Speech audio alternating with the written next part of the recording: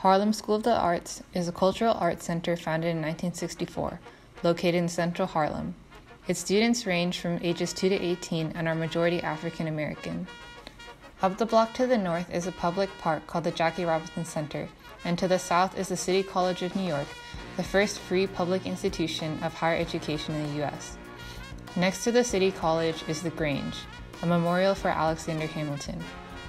Also near the school are four more churches and two popular restaurants, an Italian restaurant as well as a bar named after the Grange.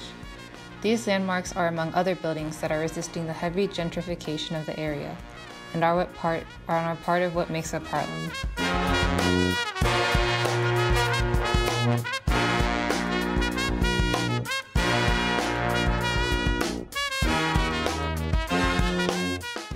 Now placing each of the landmarks in their fields, yellow represents residential space, red is public space, and green is vegetation.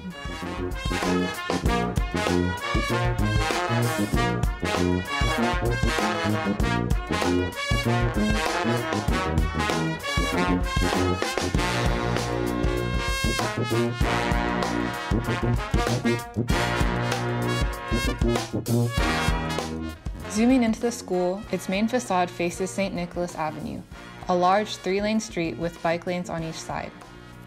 Cornering the intersection on the school's south facade is St. Luke's Episcopal Church. The north side faces a parking garage distanced by a vacant lot of land. The block, much like the rest of the surrounding area, is nested in tall residential buildings with a few mixed use buildings. Lastly, greenery fills many of the gaps.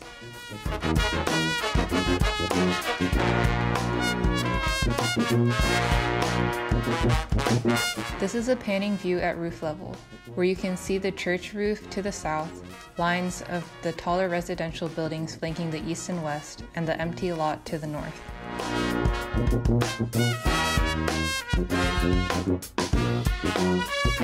Imagining the top of the new site above the school's roof, we get a much more expansive view. The grid reminds us that we are set between the almost parallel horizons of the Harlem River and the Hudson River.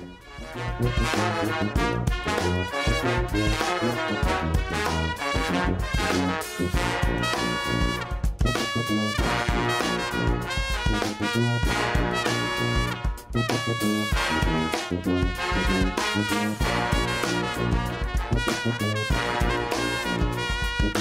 you.